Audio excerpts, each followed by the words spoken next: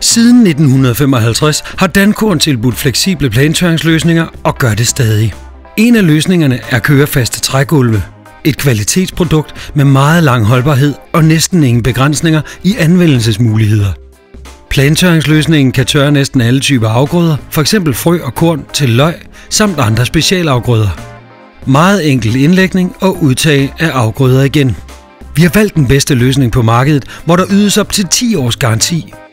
Gulvet er opbygget af hårdt knastfrit træ på en kraftig konstruktion af træstrøger, som hviler på fast beton. Op ad de indskudte stålreste kommer en ensartet luftgennemstrømning. Plantøringssystemet er let at rengøre under og over gulvet, og det giver stor sikkerhed for sortsren håndtering af forskellige afgrøder.